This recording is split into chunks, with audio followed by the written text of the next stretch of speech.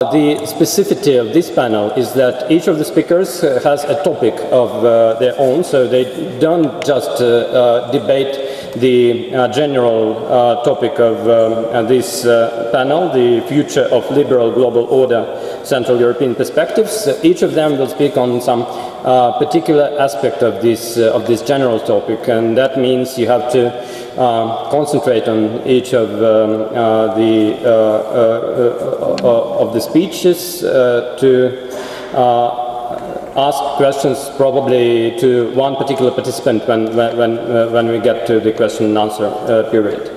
Uh, and now we get to the first um, um speaker, who is Jozef Bátora, uh, Associate Professor of Political Science at Comenius University Bratislava, uh, who has a presentation on three types of value-based foreign policy. So value-based foreign policy, please. Okay, thanks, uh, Sergey. It's a pleasure to be back in Prague once again uh, at a conference organized by the Institute of International Relations. Uh, that's a wonderful opportunity as I have been involved in working with the Institute for a number of years as a member of its board. Uh, they do indeed have someone from outside on the board, which is nice. Um, the, I understand I only have 10 minutes, so uh, I will try to make this brief and as concise as possible. The title of my presentation is uh, uh Three Types of Value-Based Foreign Policy. Um, and I will basically argue that um, in uh, current development, we need to rethink the notion or the concept of value-based foreign policy. Uh, in the 1990s and before the entry into NATO and the EU, uh, the countries of Central and Eastern Europe, uh, it has become very popular uh, with our governments in Slovakia and the Czech Republic, Poland, uh, to argue that we do need to have a value-based foreign policy. Now, before the entry into the EU and NATO, uh, that was the that was equal with trying to enter into the EU and NATO. That was the values that we were working with, working for. Um, after the entry into the EU and NATO, that is in 2004, uh, there is much less consensus on what we actually mean when we say that we have value-based foreign policy.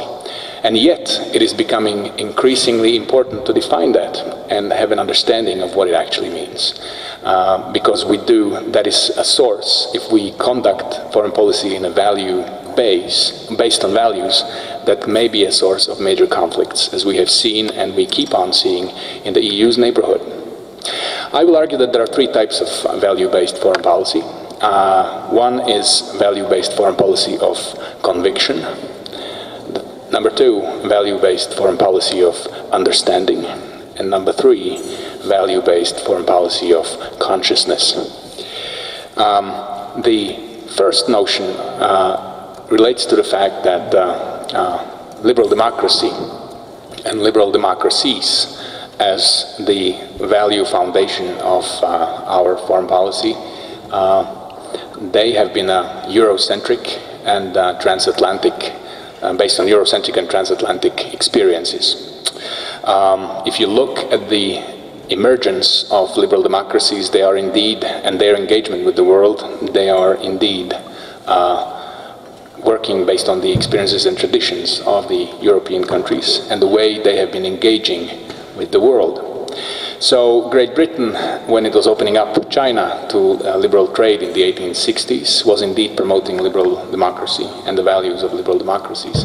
But also Woodrow Wilson uh, was promoting liberal democracy uh, as a set of principles and values, teaching democracy to the rest of the world. Uh, European, more modern and more recent traditions in promoting democracy uh, as a value, as a set of values, uh, are also related to the notion of um, normative power Europe. So these ideas of Europe being a civilian power, transforming its neighborhood and other countries by law and by rules, uh, by norms, by normative pressures, that's part of this. Um, so the basic idea and the basic ontology of the world when we think about uh, value-based foreign policy as um, foreign policy of consciousness is that there is one world uh, of liberal democracies and then there are other countries. Uh, it is us and then there are them who are not liberal democracies. And the vocation of us who are liberal democracies is that we're trying to transform uh, those who are not liberal democracies. The way we do this uh, basically is a sort of a macro level approach where we try to install democracy uh, in countries who are non-democratic, install democratic institutions, and eventually we expect that to generate democratic processes later on. An alternative vision of value-based foreign policy would be the second one, and that is the value-based foreign policy of understanding.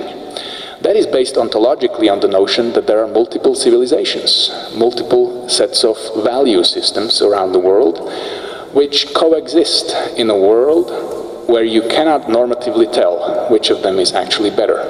And liberal democracies are one of these value-based well, value systems. Um, authors such as uh, Chantal Mouffe and others will be talking about this universalist sort of uh, world in which there is a basic foundation of universal values. But then, of course, you have these other cultures and these other civilizations, these other value systems, who may not, may or may not, may not embrace the same kinds of values like liberal democracies. Um, there are alternative value systems such as the Asian way, as you know, um, something developed in Southeastern Asia. Uh, countries such as Singapore and others would be uh, promoters of this idea. This would be focusing on the idea of uh, working hard, uh, cherishing collective interests, but not necessarily promoting liberal democratic values. Um, in practice, this kind of a value-based foreign policy of understanding would embrace the idea that we should understand and get to know these other cultures and understand their developmental patterns, but we shouldn't necessarily be trying to change their way. Um, in practical terms, as to what exactly this means for the conduct of foreign policy, it means that we are trying to promote initiatives, or the proponents of this approach are trying to promote initiatives in countries uh, like China, uh, or a number of other countries who, are, uh, who have an authoritarian uh, system, we are trying to promote practical results, be that in environmental protection or social rights uh, or other kinds of things. Basically, this approach accepts the idea of double standards because we, we see the world as being divided into value systems and we understand that the values of liberal democracy only apply to us, not to them. Um, now, the third um, model would be a value-based foreign policy of consciousness. This is inspired and based on uh, Václav Havel's uh, essay on uh, politics of consciousness. This was an essay he wrote as a speech in 1984, Politika Svědomí. Um, and he couldn't deliver it himself because this was uh, delivered as a speech, as a thank you speech for a prize he was receiving in France. Instead of him, it was delivered by uh, Tom Stoppard. Um, what he does in that speech, and I really recommend you to read that, it's an 11 page document. Um, what he tells us there, he alerts us to the dangers of overt belief in the rationalizing forces um, of rationality, of the orthodoxy of rationality. Um, the danger of modernity and rationalization there uh, in the communist societies isn't the, isn't, isn't the only kind of danger, uh, or this danger isn't only in the communist societies for him. This sort of a danger is there in any modern society, including the Western societies. It is only more extreme in the communist societies. Um, so what happens in these, due to these rationalizing forces, due to the orthodoxy of rationality, uh, what you're losing is the basic sense of humanity, of a human scale of the world, of a local human scale, where you can tell the right from the wrong. This is what he argues. So the, so the value-based foreign policy of consciousness would be, a would be a policy that would support local alternative ways of living in societies around the world. It's a kind of a micro-level approach. Um, where you would support all sorts of alternative versions of reality and existence. Is this too philosophical? Well, it might sound so, but in, but in fact, there are practical, very practical approaches that you can divide, derive from this. There are at least four very practical principles of foreign policy conduct. One, if you do value-based foreign policy based on this approach, you would be supporting groups within societies attempting for alternative forms of existence, be that Falun Gong in China or LGBTQ movements in Russia.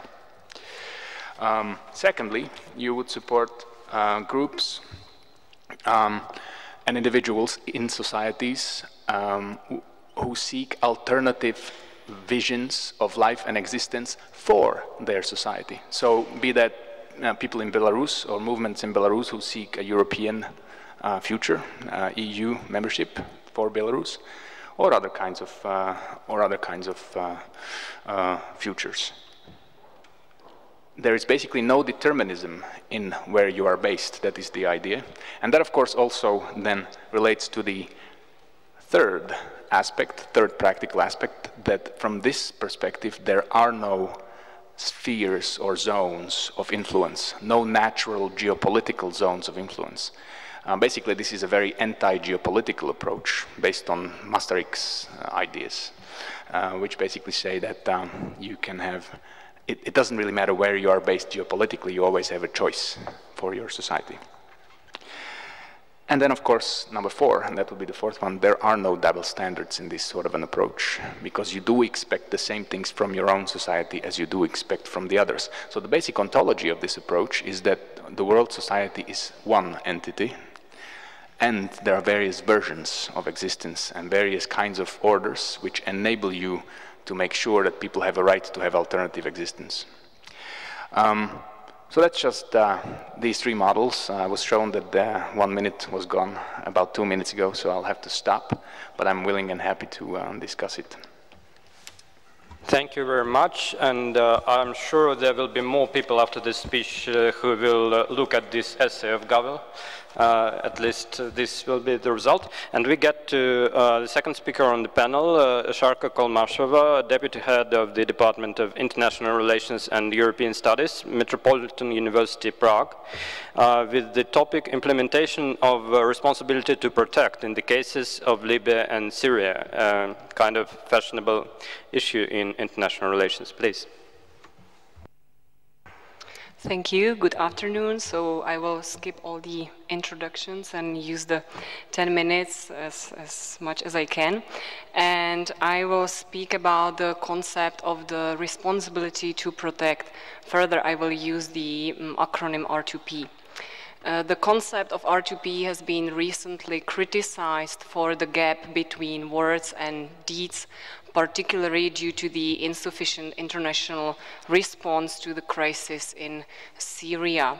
So the question is, does, does it mean, does the case of Syria and the failure mean the end of the R2P as a norm, or more importantly, does it reflect an emergence of post-liberal global order that would kind of link my contribution, my paper, to the more general topic of, of the conference, of the session. So I will argue that the particular crisis does not actually bring any fundamental change and it rather reflects the pragmatic revisionism that started to emerge and that was emerging since the R2P concept was introduced back in 2001, so around the millennium. And therefore, the inconsistent implementation in Libya and Syria that is very fashionable, as, as was already mentioned and um, often commented, it's corresponding with the compromised nature of the R2P concept and also with the wider pragmatic global order and it's reflected by the accommodation of moral principles according to political practices rather than simply implementing them. Firstly, I will briefly comment on the emergence of the R2P concept and I will demonstrate the false premise of its liberal universalist nature. Secondly, I will explain what is meant by pragmatic revisionism and in global ethics and how is it reflected by the R2P conception. And I will use the case of um, Libya and Syria. Finally, and very briefly, I will comment on the position of the Czech Republic to the R2P um, to demonstrate this pragmatic revisionism turn on a national level. So very briefly, the debate on humanitarian intervention that was ongoing in the 1990s um, can be summed up as a clash of um, liberal universalism and realist power politics and the debate did not result in the victory of liberal values as the R2P conception on the first side might indicate. It was rather the conflicting norms and the compromise between these conflicting norms, namely the um, liberal and universalist protection of human rights on one hand and the inviolable um, state sovereignty on the, on the other hand, that were, as I said, clashing and competing resulted in the adoption of a kind of compromise that was shaped within the R2P conception. And more importantly, the debate wasn't only um, taking place in abstract terms. It was rather shaped by practical situation, practical crisis situations that were taking place during the 90s. And two crisis situations were particularly important. It was the 1994 um, genocide in Rwanda and the insufficient international reaction to that and secondly, the 1999 NATO intervention in Kosovo.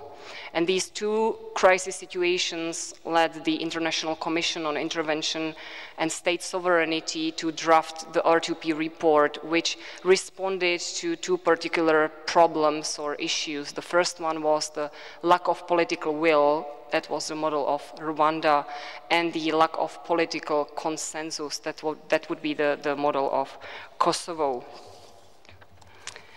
And the R2P as it was um, adopted and then later on discussed during the 2005 World Summit and as it was slowly translated as, as let's say, a, a, political concept that would be used even within the United Nations, it became more and more compromised and I would say resulted in a very, let's say, pragmatic and, and I would say flexible framework that um, legitimizes actually both intervention as well as inaction.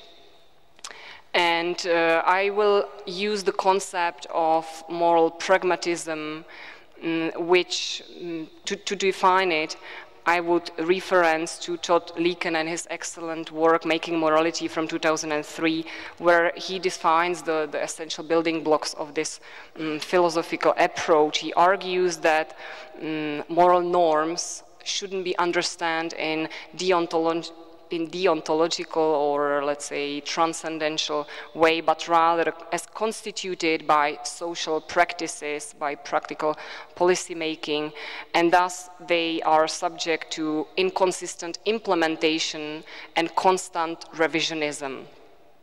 And this can be very well reflected within the implementation of the R2P and, and the contemporary approach to that.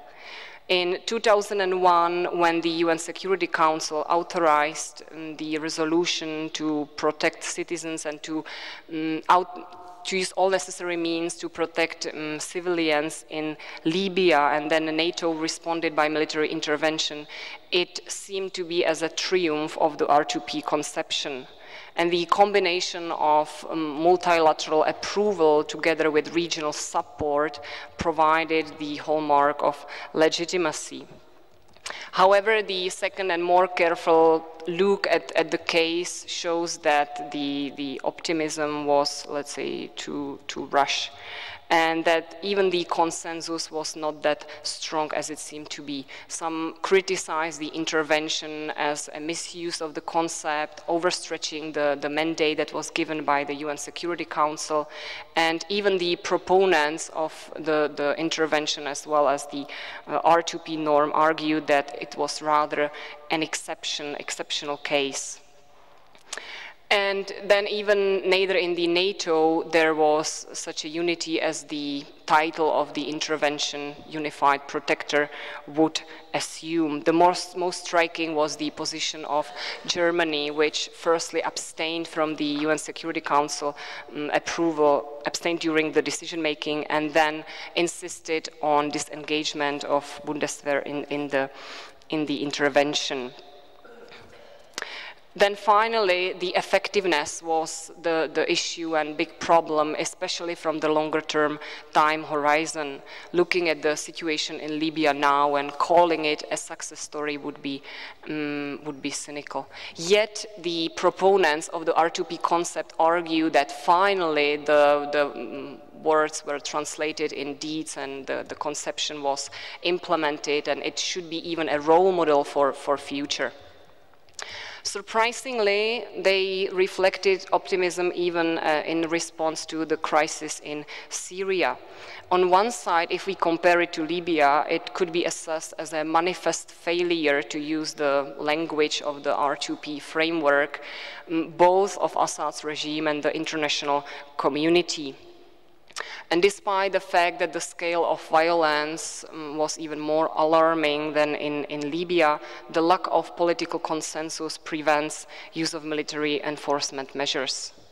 However, the reflection with regard to R2P is still positive. For instance, Thomas G. Weiss argued that occasional action is better than no action, or Gareth Evans argued that lessons learned are more important than the failure itself. So these arguments will be probably presented even more loudly in the future, and they precisely show that the inconsistent implementation does not mean the failure or the, the does not reflect the limitations of the R2P concept, it is rather perceived as a trigger for future debate and for eventually for conceptual revision. So the pragmatic approach of occasional no to extreme violence quite sharply contrasts with the resolute never again that was um, resonating during the, the 90s. So far, I have argued that global politics is governed by moral pragmatism indicated by this revisionist approach towards the R2P norm. And finally, and very briefly, I will reflect on the pragmatism term on the national level, namely through the position of the Czech Republic towards the R2P. On a conceptual level, the pragmatic approach towards human rights protection has been reflected by the new 2015 conception of human rights and transition politics. Despite the fact that the Czech Republic um, proclaimed its support towards R2P on various multilateral platforms and repeatedly expressed its support to R2P, the conception doesn't mention the, the principles once.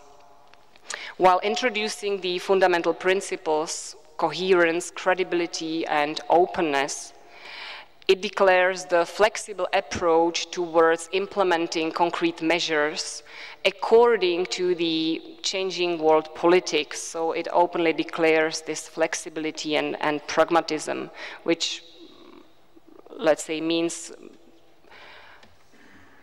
to correspond to, to the selective and case-by-case implementation of, of global ethics. Really finally, on practical level, the Czech Republic neither did actively participate in the NATO intervention, nor it supports any military enforcement solution to the Syrian crisis. So in, in both cases, the Czech representatives condemned the violence, yet they were rather reserved in terms of um, using military measures. And compared to the proactive liberalism the country promoted during the 90s, the contemporary foreign policy in the field of human rights is very reserved. Finally, in my point of view, it corresponds with the ongoing global revisionism in the field of human rights protection. Thank you for attention, and I will be pleased to answer your questions later on. Thank you. I hope this presentation will uh, make people ask a lot of questions. And now we go to the next one. Uh, which is um, uh, kind of prepared by two people. Um, I uh, suppose that one will be speaking and uh, the other one will probably help uh, uh, the speaker during the question and answer period. so the speaker will be Tomáš Weiss, head of Department of West European Studies, Faculty of Social Sciences, Charles University in Prague. and he's helped by Helena Schulzová, um, a researcher at the Europeum uh, Institute for European Policy. Uh, and the presentation has an intriguing title, Unconventional Diplomatic Representation, Typology and Practice. So what's unconventional? Okay, thank you very much. Uh, I can't do but, but uh, give some initial remarks, unfortunately. First, uh, it's turbulent times, so I'm not the head of Department of West European Studies, but head of Department of European Studies, and Helena doesn't work for Europeum anymore. Uh, and to add to that, uh, the paper was actually written by myself, Helena, and Mats Braun, who unfortunately couldn't be here, uh, from the Metropolitan University, and draws heavily on two, two studies uh, two pieces of research that we conducted uh, for the Ministry of Foreign Affairs, uh, and one of them was co-authored by Martina Rubešková, uh, who currently actually works somewhere in this building, uh, but couldn't be here either. And she bears no responsibility for, that, for this paper and for, for, for what I'm going to, to talk about. Uh, what I want to do is uh, to talk about unconventional diplomatic representations uh, and give you some kind of a proposal of a typology uh, and discuss a bit advantages and disadvantages in practice. Now, why this is relevant for this audience, uh, we basically asked what innovations are being introduced into diplomatic services of small and middle-sized EU member states. So there's the hint, small and middle-sized EU member states. Uh, we do not ask that much uh, how that works in bigger member states because we argue uh, that, uh, that the pressures uh, that, that work uh, against and on the diplomatic services of smaller and middle-sized member states are much bigger than the pressures than the pressures influencing the, the diplomatic services of bigger or big member states, uh, and, and therefore it, it will be much better visible uh, what the change actually consists of. So how can these uh, changes be conceptualized, how are they used in practice, uh, and how can these changes be interpreted? We had three points of departure. Uh, the challenges and opportunities for, for a change in diplomatic representation. Uh, one of them is different needs. Uh, especially within the EU, it has been argued by many uh, that the traditional diplomacy is kind of out of place uh, at the moment because there are direct contacts between, between the ministries, even between individual desk officers. Uh, so there is no need to have a residential embassy in another EU member state uh, because there's basically no business left for such an embassy. Uh, second, budgetary pressures.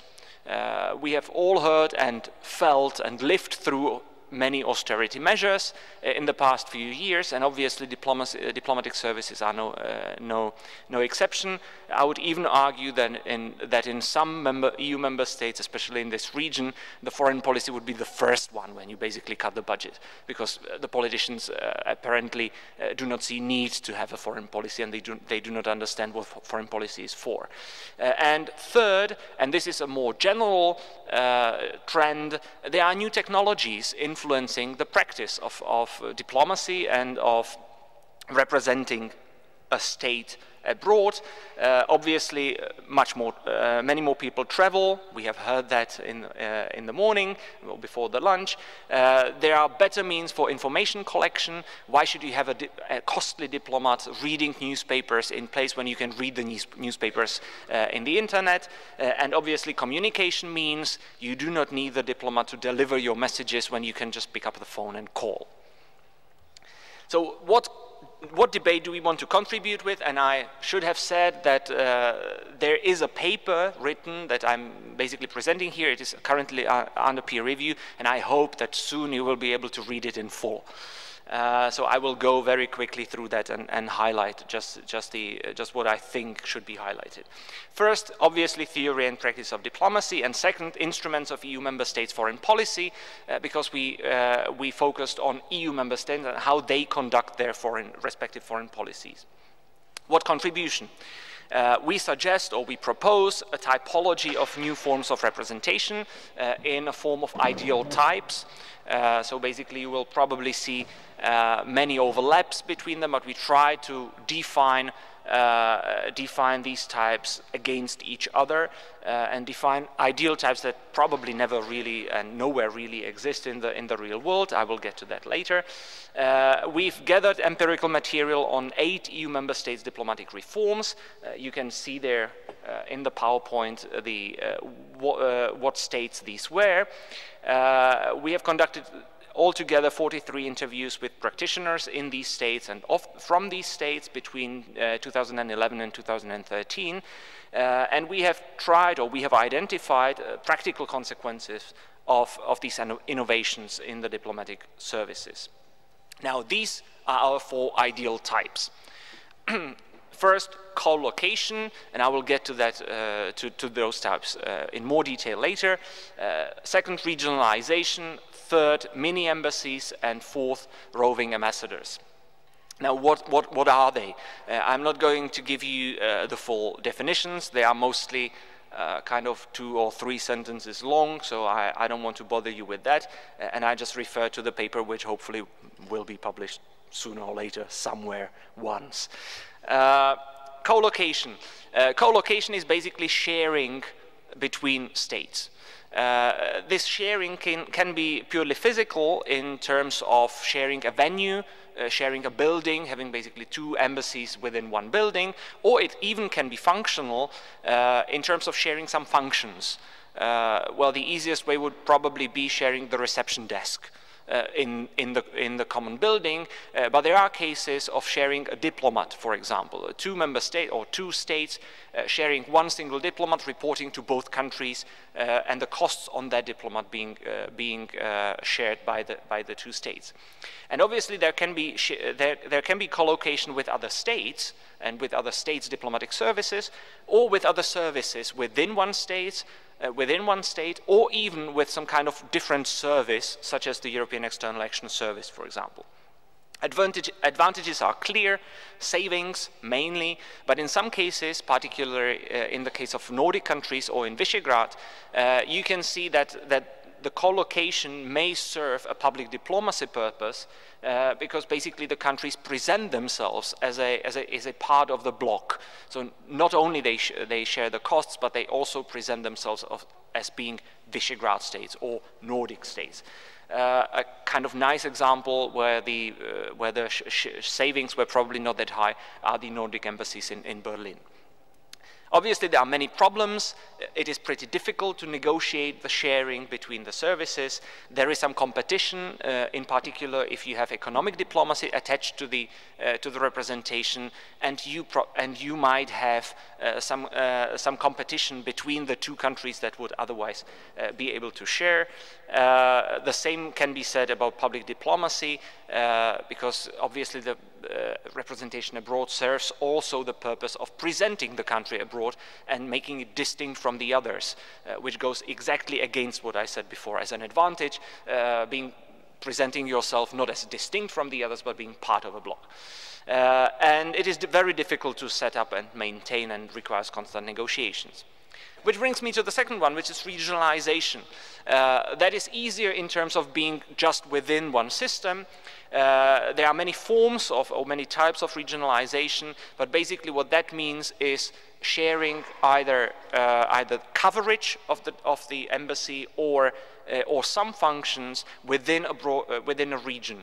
Uh, so there are regional embassies, which you all know that that is the very traditional one, that you have uh, the, uh, an embassy in one country that somehow serves and other countries in that particular region. Uh, there is a hub and spoke uh, model which you, where you have a big embassy in one country and then smaller embassies around in the, in the uh, adjacent countries, or even regional support centers, uh, which the Dutch have, uh, have uh, introduced with quite some success, where you basically concentrate some functions in geographically even distant areas, such as accountancy, for example. Advantages, again, obviously savings. It allows, it allows representation in more countries, uh, especially, for example, the hub and spoke model, uh, where you have one big embassy and then, but you can be presented in, in uh, you can be present in other countries in the form of smaller embassies that are supported from the regional hub. Uh, and it increases flexibility because you can open up very quickly uh, a, smaller, a smaller representation.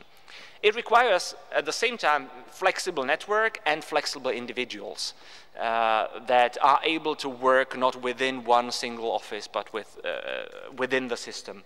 Uh, and there might be some potential institutional resistance if it, uh, if it ends up with cutting down jobs in diplomacy. Mini embassies. Uh, this is, in a way, a traditional embassy, but a very, very tiny. Uh, so an embassy which doesn't have uh, many diplomats, dozens of diplomats working uh, in the office, it can be an embassy which basically has only one or two diplomats uh, and then is supported uh, by, by some local, local hirings. Advantage, obvious, again, cheaper, you rely on the locally hired staff. Eh, and the locals at the same time they are cheaper and they bring, uh, bring in networks and knowledge and continuity because they stay. Uh, and it allows representation in more countries. The problems, it cannot offer all the services and there are some legal limitations uh, to, the, to this system. Roving ambassadors uh, or flying ambassadors, as they are sometimes being called, uh, is basically no permanent representation this is a permanent ambassador who is not stationed in the host country, but is stationed at the, at the, at the ministry in the capital. uh, there are few advantages, and I, am running out of time, so I am not reading those out loud. You can read that by yourself.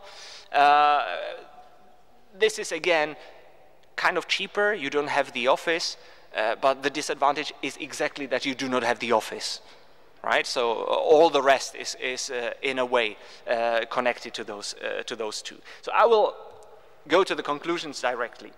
Now, these four ideal types or types that we've defined, and some of them obviously overlap because many embassies, as an example, are ideal to, uh, to be part of this hub and spoke regionalization of the system, for example.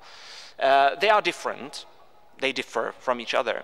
Uh, but at the same time, they have many similarities in practical advantages and disadvantages. First, they increase cost, eff cost effectiveness. Uh, they are cheaper. Uh, but at the same time, uh, they offer limited services. Many of them rely on limiting the services that a traditional full-fledged embassy offers. They increase and at the same time rely on uh, flexibility of the network and of the diplomats. It is simply not the traditional work that everybody is used to, uh, it is necessary to be more flexible while working in this system. There are many obstacles within the system which can be overcome, for example, legal, accountancy related, and so on. But some of the, of the obstacles are not, are in a way up, out, from outside of the system, beyond the system, such as security, uh, security uh, considerations or political sensitivity of changing the representation in the host country.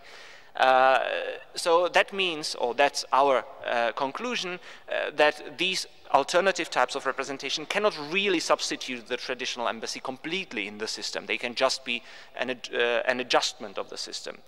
And what is kind of intriguing and interesting, the countries that have introduced some of the alternative systems, and we have investigated only in the EU countries, in a way introduce these changes both within and outside the EU system. So uh, whether the host country is an EU member or not, uh, kind of against our expectations, did not change the behavior of the country, uh, countries. They either, either introduced the change or not. And finally, what is the impact on the practice of diplomacy? Uh, first, it changes the perception of diplomacy. Uh, there is a, a distinct shift from, uh, uh, from diplomacy being representation to diplomacy being task-solving uh, body. Uh, but at the same time, uh, some of the some of the changes can actually uh, allow being the country being represented in more places in the world. And our final conclusion, and most important probably, and more, most preliminary one, is the fact that we argue that this these changes require diplomats professionals, and in a way, they raise the entry costs uh, of uh, the costs of entry into diplomacy. Uh, it is simply, if the system has got these changes introduced, it is simply not as easy as it was before uh, to be parachuted into diplomacy from other uh, other types of uh, societal work, such as soldiers, former politicians, and so on. Because it basically requires that the diplomats are really professionals, uh, they do not have the staff that they could rely on. Uh, so basically, we can see that the systems that do introduce these changes uh, are, uh, need to be highly professional, more professionalized, uh, and the entry costs are simply higher. Thank you very much. Sorry for being uh, too long, and yeah. uh, we're really looking forward to uh, having your questions. Thank you. Thank, thank you. It's uh, in everybody's interest just to leave uh, time for questions. As you understand, each presentation is just a glimpse in topics that could constitute a series of lectures, so we um, never have enough time. and now we get to our next speaker, Jan uh, lecturer lecturer in security studies uh, at the Department of International International politics in Aberystwyth uh, University. I'm not sure that I pronounce it correctly, but I, am quite sure that this is the university where the first chair for international relations was opened once upon a time. Uh, and uh, uh, he has uh, a presentation on nuclear weapons, non-proliferation, and global order. Please. Thank you, Chair. Uh, you did quite well. It's pronounced Aberystwyth, and outsiders usually struggle. It's a Welsh name, and it is indeed the first department in the world in international politics. And Turn the mic. Oh. And um, it was uh, established to uh, mind and build up global order, indeed. Now, I was given 10 minutes to talk on nuclear weapons and uh, the current global order, so here goes. Uh, it seems to me that I ought to start with two fundamental assumptions. Nuclear weapons have two implications for the global order. One is they are a stabilizing factor. Nuclear weapons have been fundamental in calming great power rivalries because they provide fundamental ontological security for great powers. No longer do you need to balance to maintain your own security. I realize this might be controversial a, a little bit, but uh, that's first assumption I'm going to make. The other assumption is that, of course, nuclear weapons have a great potential to upset the global order. This takes two forms. One is, of course, the destructive power. So as much as nuclear weapons... Turn the mic towards you. As much as nuclear weapons might have uh, calmed great power rivalries, they of course possess a destructive power of such a magnitude that uh, the global order might vanish if they were indeed used. The other form in which uh, there is a potential to upset the current global order, of course, is defiance. A state that possesses nuclear weapons will be able to, to defy other states. Now, the most extreme example of this probably would be North Korea, but you can surely think of other examples. So we've got two implications of the existence here that are quite fundamental, right? Stabilization and the potential for great destruction and the upset of the order. Now this creates an imperative for the maintenance of order.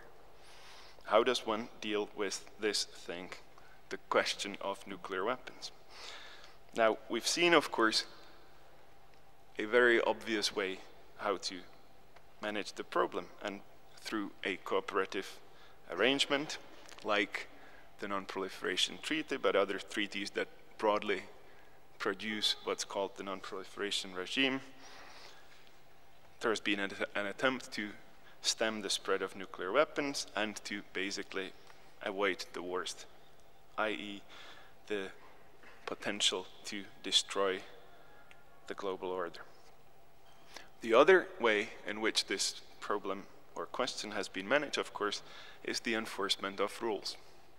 And so we've seen what might be called the wars of non-proliferation. We've seen attempts to coerce and uh, arm twist states into not doing things that others might think dangerous. Once again, in the name of protecting the global order. The basic justification of, of these two measures, the cooperative and enforcement measures, of course, has been the belief that this works. In other words, uh, contrary to the long-running worries about the doom and gloom of the spread of nuclear weapons, it's been relatively limited, and we've seen no nuclear war as of yet, or rather, wars where nuclear weapons would have been used. So there is clearly a pragmatic argument behind this. Now, I would argue that also what makes this work are the following three things that are rather less uh, nice. And that's inequality, injustice, and hypocrisy. Now, granted, every order will include these inequality, injustice, and hypocrisy. In fact, the pragmatic justification that the current regime works sometimes admits to this. So there's a famous book by Joseph Nye uh, on nuclear ethics, which says that basically, yes, indeed, the non-proliferation regime is not just, and it might deal in hypocrisies, but it works. It provides stability. Now that is, of course, true, and that's a powerful argument, but so long as there are defections from such an order, there are going to be problems. As states defect or attempt to defect, this creates what I would call is the non-proliferation imperative, i.e. the spread of nuclear weapons must be prevented, either by diplomatic means and coercion, or by force. Otherwise, the regime would, of course, face a breakdown. Now, there is, of course, a paradox here at play that will be easy for you to discern. Such measures to maintain the order contain the seed of the order's own destruction. So, as long as smaller or medium sized states will see that without the possession of nuclear weapons, they are really open to harm, extortion, and threats, they will at least consider the possibility unless they are aligned and allied with states that might provide nuclear umbrella and protection. Now, not every state will find itself in such a position. So we're dealing with a situation where there is a problem of nuclear weapons that is somehow being solved as is. But really, the regime is only concerned with the question of stability, not with the question of how to deal with nuclear weapons. So what is to be done? Why does this matter? And those will be my last two points, because I will stick to my 10 minutes. Now, on the one hand, I think a clear-cut analysis of what is going on is not a call to say that this has been entirely unsuccessful. In fact, if you're on the right side in the current regime, as most or vast majority indeed of states are, it works for you. And that's great. But of course, it only takes one or two or few for the breakdown to happen. And the implications of the breakdown would be great. So an analysis like this one, I think, has got the two conclusions. One is that we should be really worried or concerned about feel-good initiatives like the humanitarian initiative. Now, I realize this might be provocative, but they really only work for those states that are already status quo powers or status quo states.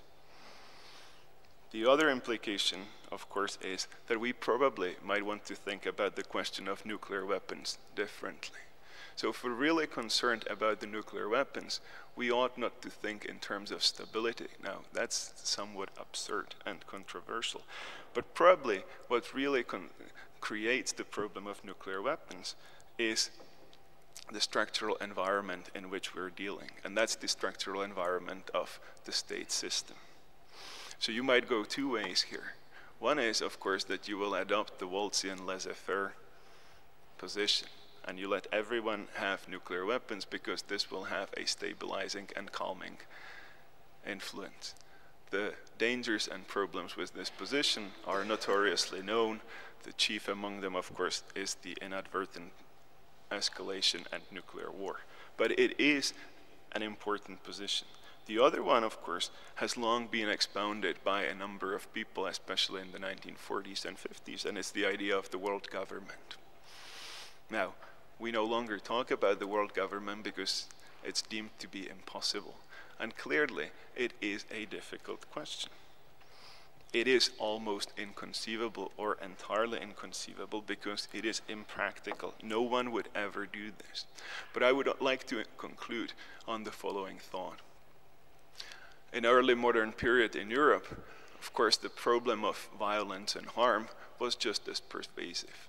And it was hard for all the actors to imagine and conceive that one day they would live in what we now tend to think of the leviathans of sovereign states. So maybe we might want to engage our political imagination a little bit more and think about alternative structural arrangements. Thank you very much.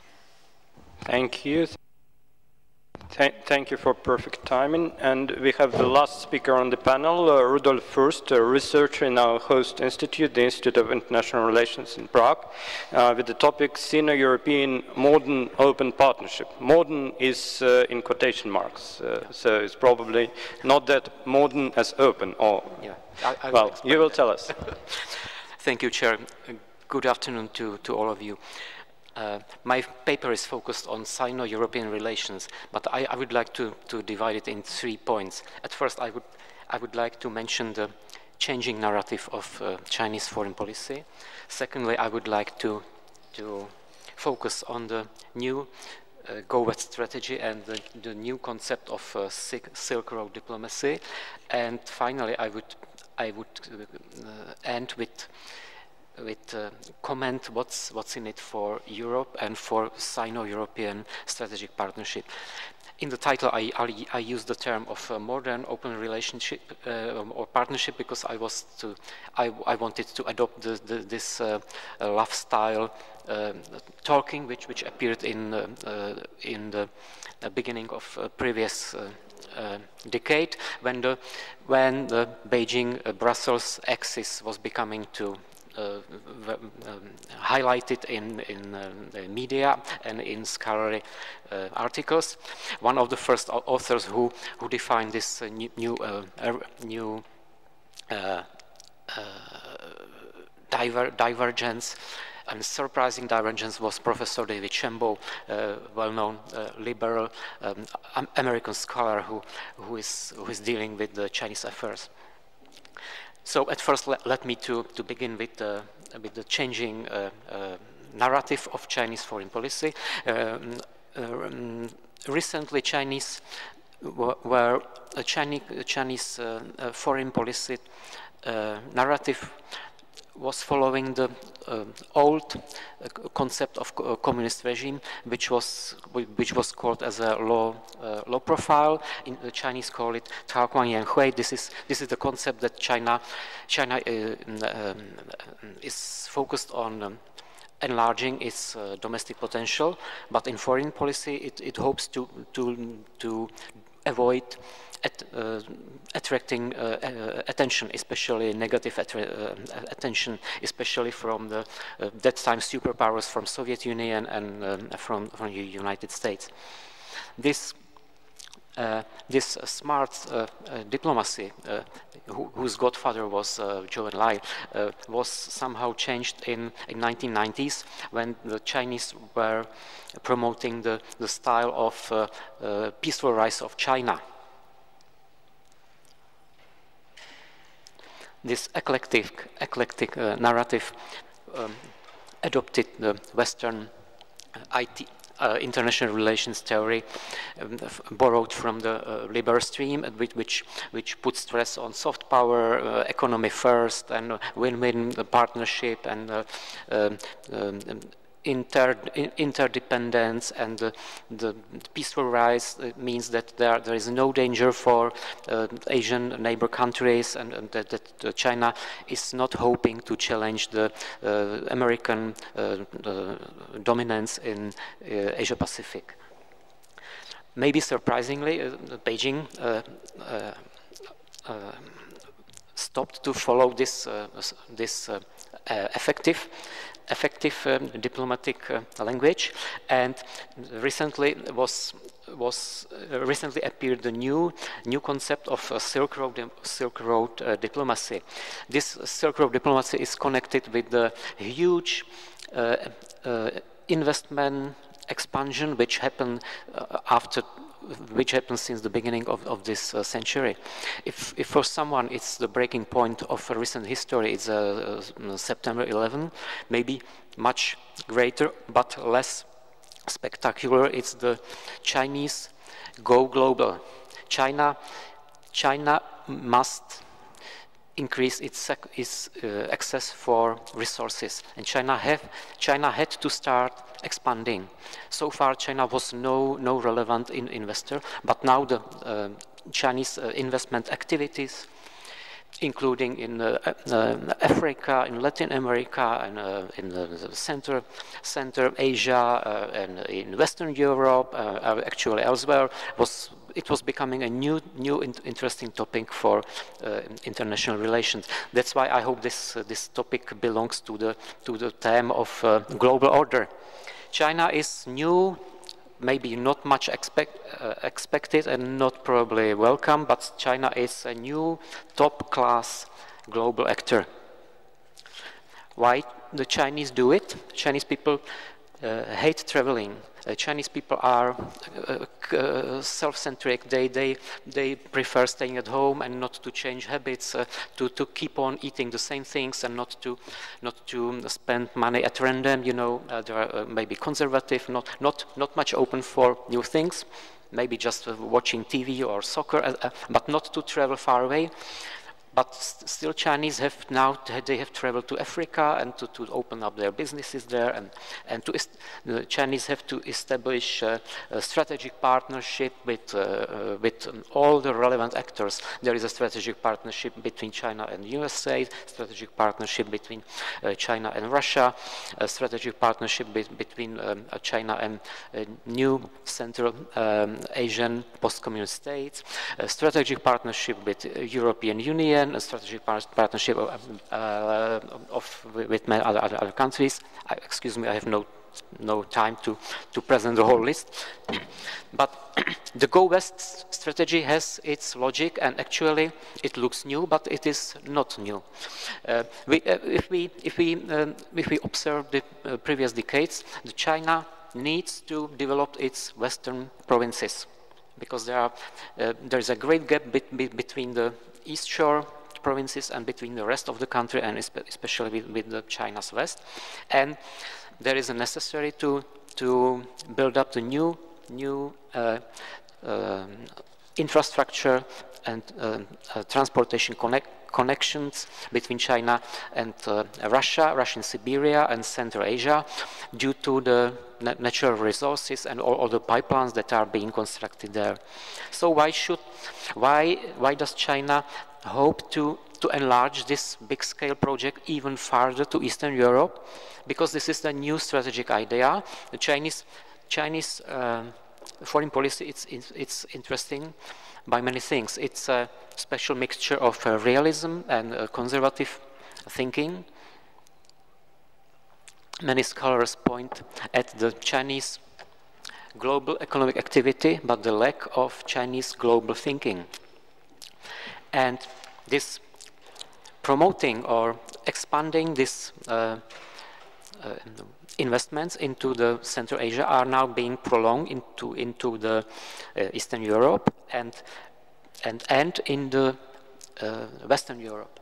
So there's actually the concept of, of um, ambitious project to, to connect all the all the regional structures that were uh, jointly were established by China. That means the China and Russian strategic partnership, China uh, and uh, Shanghai Cooperation Organization, which is the uh, regional organization, and altogether with format 16, 1 plus 16, uh, Czech Republic is, is a member of that, and connected with, with the format of uh, EU strategic partnership. So all these partly um, uh, regional projects are now connected together.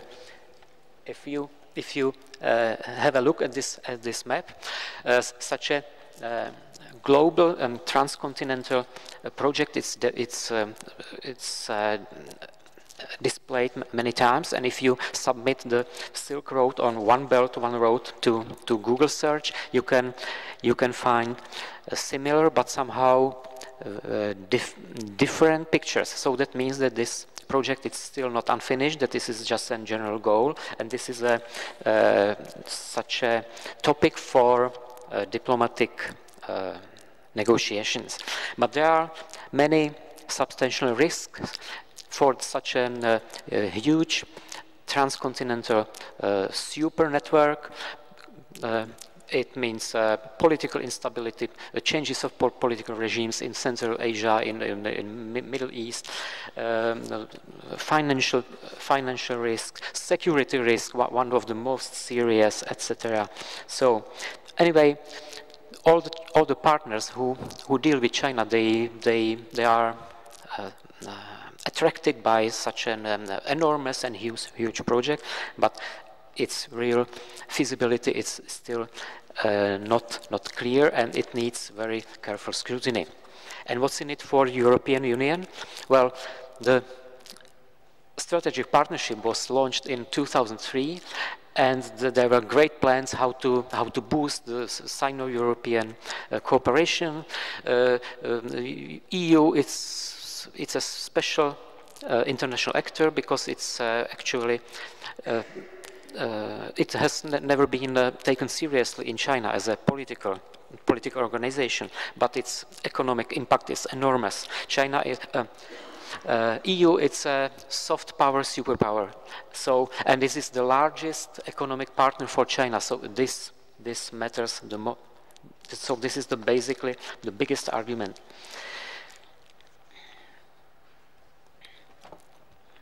Well, the uh, strategy partnership between EU and China went through series of mutual disappointments. So China failed to, to persuade uh, Brussels and the EU member countries to lift the arms embargo. China failed to, to get from EU the market economic status.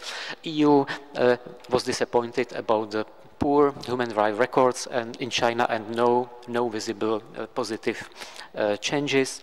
Uh, EU has been disappointed by, by no greater uh, access to Chinese market.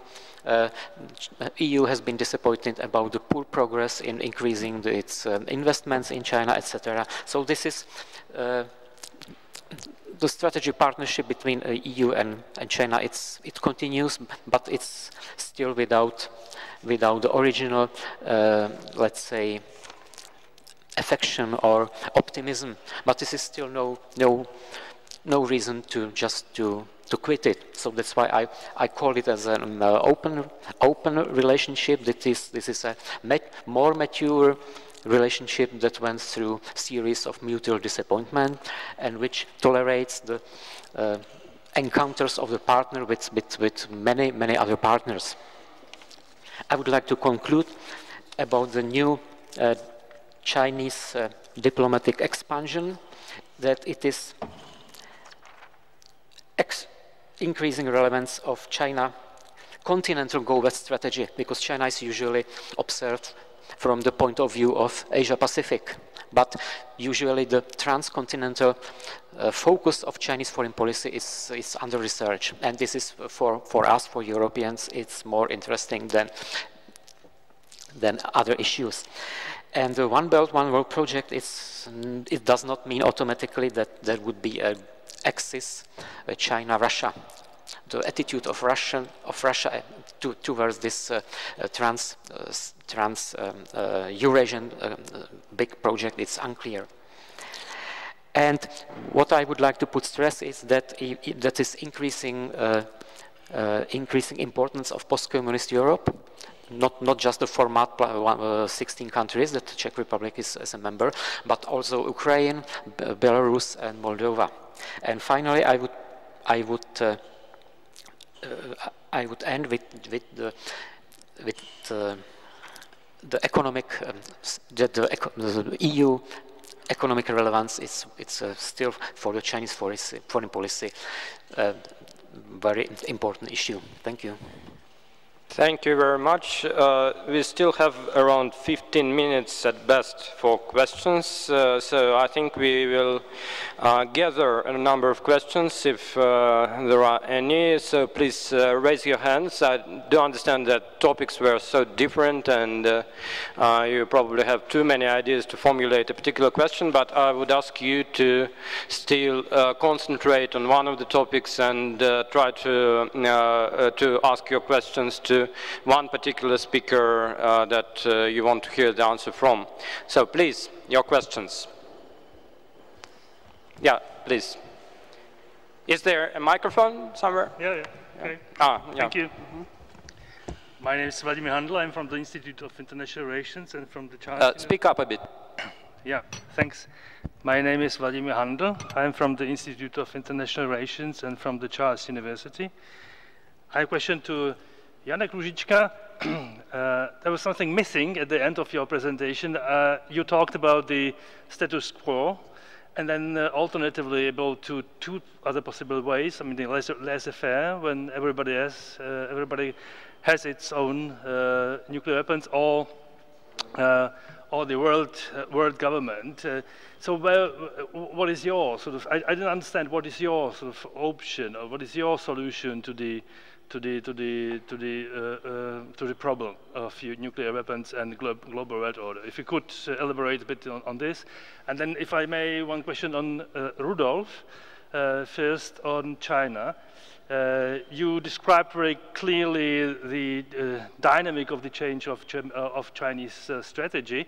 My question would be, um, in this liberal phase of, of Chinese foreign policy, military force and hard power was not extremely important, not, not primarily important, it was really the economic diplomacy. Now, what is the role of hard power in the current Silk Road strategy, if you may? Thank you. Thank you. Uh, more questions? Yeah, please.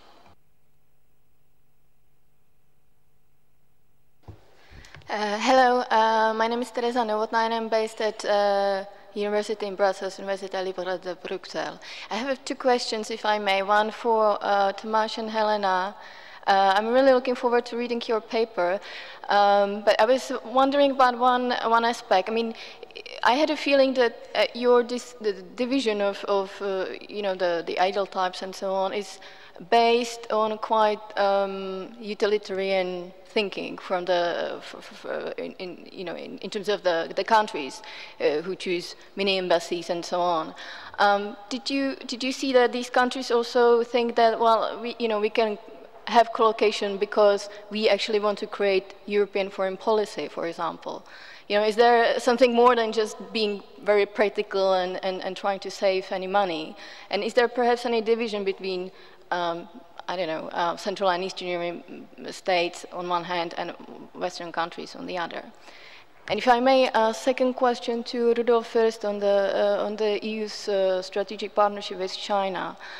Um, and sort of you, you, mentioned at one point that you think that China doesn't have really a big political strategy, and that's that's like one one of the, the problems. Uh, I mean, in terms of the strategic partnership, isn't also the problem that um, you know the EU member states are quite happy to use it to their advantage. So you know when when it comes to human rights, I mean there was a, EU-China human rights dialogue in in December, I think. You know they are very happy to use it for that matter. But when it comes to issues like trade, suddenly you know the bilateral uh, bilateral links are much more important than the strategic partnership. So, you know, the, the EU strategic partnership with China suffers uh, because of the divisions among the member states. And in fact, you know, the 16, 16 plus one is, with, is quite a clear example where, you know, uh, the non-16 EU member states were very critical of it because it divides the EU uh, on this matter. Thank you. Thank you. And there was uh, some, yeah, please. And, and, this will be the last uh, question we can. Uh, okay. Uh, Michal Romancov, Faculty of Social Sciences. I have only one question, and it is uh, to, uh, to Rudolf first. I do agree with you that the Russian role within the Chinese strategy is unclear. Nevertheless, I would like to ask you, what do you think will be positive or negative role? Thank you. Thank you. And uh, I would add uh, one question from myself uh, to uh, Jozef Bátora uh, the, the, on the first presentation. Um, you uh, spoke about this third concept of value-based foreign policy of consciousness and supporting the various minority groups, basically, inside societies. But doesn't this lead to more conflict, as it happens with uh, um, supporting Tibet in China, with uh, supporting the LGBT groups? Uh, this produces even more pressure on them, or isn't it? And uh, please, uh, let's, let's go from this side to, to, to this side because we had uh, quite a number of questions on China. Yeah. Uh, thank you for your question, inter interesting uh, questions. Uh, as to the hard power in the Silk Road uh, strategy, uh, I think that's uh, soft power diplomacy is, is focused at, at, first on soft power, especially during the investment and trade bit. But the hard power, it's it's becoming uh, behind, but it, we, we, we cannot predict what happens because because uh, if such an, uh, a strategic uh, transportation net network one exists and it goes through the Central Asia, there would be uh, a deluge of uh, occasional threats and and so negotiating, the, the, sharing, the hard power with, with local with local states, it's it's one of the biggest mysteries for me, you know. So usually the the, Chin, the Chinese uh, the, Chinese uh, uh, diplomatic um, uh, narrative is full of win-win and and, uh, and uh, soft power, but scholars who who who study the Chinese soft power practices you usually point at, including my, my myself, usually point at such, such a, a kind of Freudian slips that when the soft power doesn't doesn't work very well, so hard power is sometimes uh, just uh, good to use, you know. So this, the, the future of this uh, of this project, from the point of view of hard power, it's it's very it's very uh, questionable. It's, it's a great topic, I, I, I believe. As to the uh, EU uh, PRs, uh, China um, strategic partnerships, there is a great problem with fragmentation of the agenda. That's, that's of course, a big, big weakness of, of the EU because it's there is an actually very poor coherence. Uh, small states like Czech Republic, they may benefit from that, uh, for, for example, by, by using the uh, help of, of EU partners for some, some uh, um, for some uh, in, uh, trade trade disputes because it would be very difficult for, for the Czech capacity to to launch um, some um, arbitrary you know proceedings against China who is who is very assertive and, and very strong. But we, we can see that that the EU agenda uh, it's it's it's splitting uh, Germany typically it's it's the, one of the uh, core leaders of in, within the EU but G Germany established its own strategic partnership bilateral strategic partnerships uh, but with China, and Berlin it's now doing his his own policy. So so the um, top level political exchange and um, and, uh, and uh, economic cooperation it's it's very it's very active and and and the other member states in EU are are are dragging behind. That's true. And the, the Russian role in the in the in the build-up of the strategic uh, strategic uh, uh, network, and this is. I think that would be pragmatic. It belongs on the on the situation and how far the, the Chinese economic muscles would, would matter. I, I, I, would be more surprised that, that, that there would be some political coordination. I, I believe I, would I would bet on the on the pressure through the economic Chinese economic channels. But I'm not I'm not expert on Russian affairs, so for me it's quite a difficult question. Thank you, uh, Jan. Uh, thank you for the question, Vladimir. Uh, I thought I was reasonably clear that I thought that uh, the, the, the, solution, in my view, lies in a different uh, political arrangement, right? So the way towards the world government. Now, clearly, that is not going to happen anytime soon, but at least political imagination needs to be exercised in that direction. I don't think there is any other way. The status quo is a variation on the laissez-faire principle, and it's bound to go boom at some point. Thanks. Thank you. Uh, we go to Jozef. All right. Uh, thanks for that question, Sergey. Now, the, the question, of course, is about uh, whether support to alternative visions of life and alternative lifestyles uh, would be increasing the chances of conflict. And, and of course, I mean, if there are societies which do not tolerate um, alternative styles of life, uh, we need to try and there are, of course, basic human rights which uh, deserve protection. Now, of course, this is not unlimited. So if there would be groups that would be uh, endangering other groups uh, in terms of breaking the law uh, or endangering their lives, that, of course, is the limit of where you actually do not, shouldn't, shouldn't really support um, alternative visions of life. Now I'm speaking about fundamentalists, terrorists, and those kinds of things. That's not where you go. But if there are Tibetans who want to uh, live their lives with a consciousness of being Tibetan, that I think should be encouraged, even though there would be more conflict. Thank you. Uh, Tomáš and Helena. Uh, I'll take over that. Tomáš may say, add something afterwards. um, to a large degree, it is utilitarian, but it's, um, the reforms are utilitarian at, at, this moment, but that's given by the circumstances predominantly. Um, if there are any tries to sort of form some, some common uh, foreign policy, that would be in countries that are very closely cooperating and were even before. Um, and the question if there is some east-west divide yes, there is, but it's probably not in the motivation, but it's more in the expectation of the of the domestic audience or, or voters generally.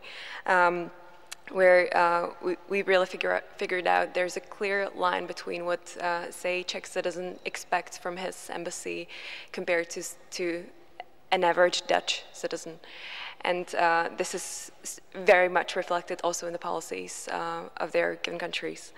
Um, yeah, also, of course, there is a massive difference between uh, red tape and the bureaucratic burden that it's uh, much heavier um, in the former uh, Austrian-Hungarian Empire. We, we, really find very similar patterns uh, in Austria and Slovakia and the Czech Republic.